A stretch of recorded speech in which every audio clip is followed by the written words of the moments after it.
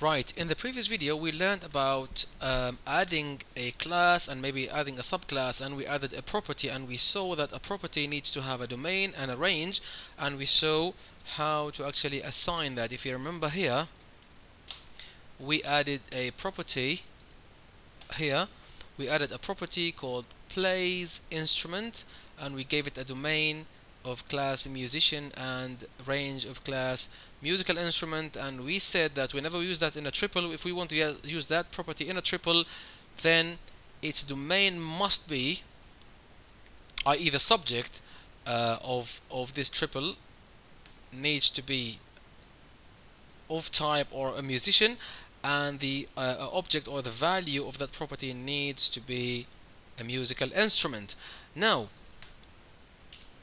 let's say uh, the address book that's provided by the author which is this address book here. As we can see his first name last name postal code some other information.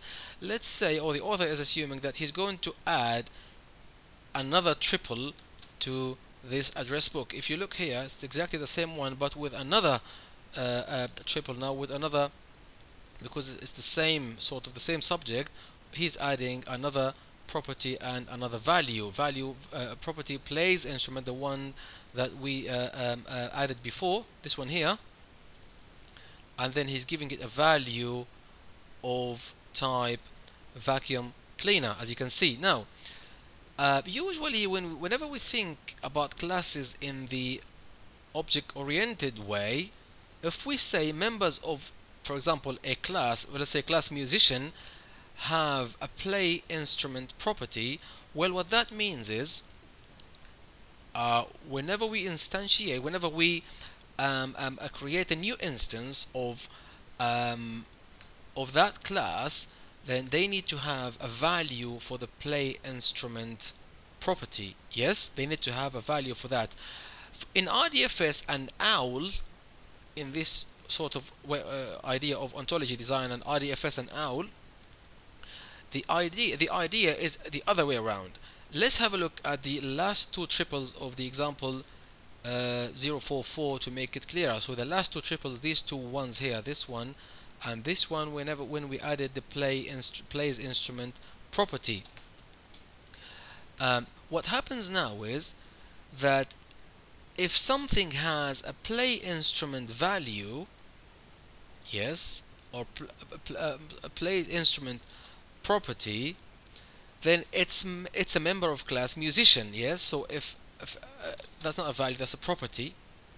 So if anything has a play instrument plays instrument property that means it is a member of class musician. So it's actually opposite way that opposite to the object oriented. Object oriented whenever we have a class member of that class needs to have that property automatically.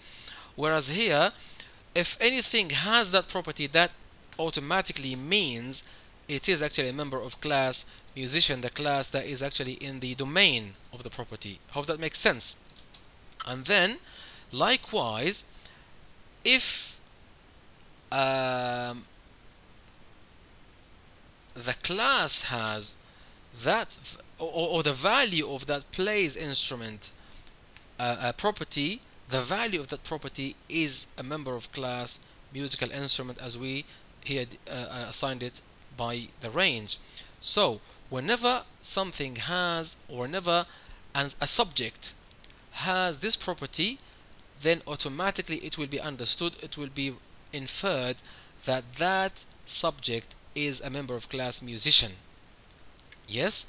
And then the value of that property the plays instrument property the value of that property will automatically be inferred to be as a member or as an instance of class musical instrument because of the domain and range. So the idea here is opposite to in object oriented. I hope that makes sense. Now once we've added the, the, the new triple uh, as we see here in example uh, 45 so let's have an example here. We added this one. The author is saying he is adding this one the plays instrument and then vacuum cleaner. So when if we find this then automatically it will be understood that this individual here is a, a, an instance or as a member of class musician and this vacuum cleaner vacuum cleaner here the value of this property is again a member of or an, or an instance of class uh, musical instrument. I hope that makes sense. This will be automatically inferred. This will be automatically sort of understood or deducted. Uh, any RDFS aware RDFS aware software or SPARQL processor knows that Richard Mutt, for example, which is this individual here, you know, the one we, we're describing with first name and last name and the rest of the information, it will automatically know that this name is now a member of class musician. And it will automatically know again that vacuum cleaner is a member of class musical instrument although we did not specifically we did not we did, we did not explicitly say that in our data this is the power of this stuff and as you can see here this is why I'm putting in, in, in bold here in thick here just saying that using the semantic web standards by adding one property to the metadata about the existing resource i.e. for example this resource here that resource becomes a member of a class that it wasn't a member of before automatically just by adding one property rather than having to uh, create a new instance of that class and instantiate the values as we do in object oriented we just add one property and it will be automatically inferred that that uh, a resource becomes automatically a member of a certain class as we saw here for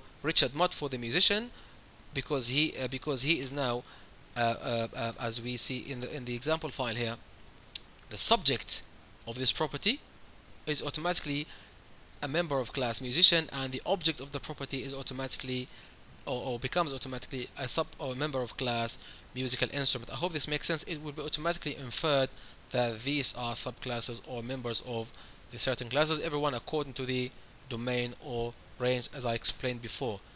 Keep watching, the next video is going to be interesting as well. Thank you very much for watching and I'll see you next time.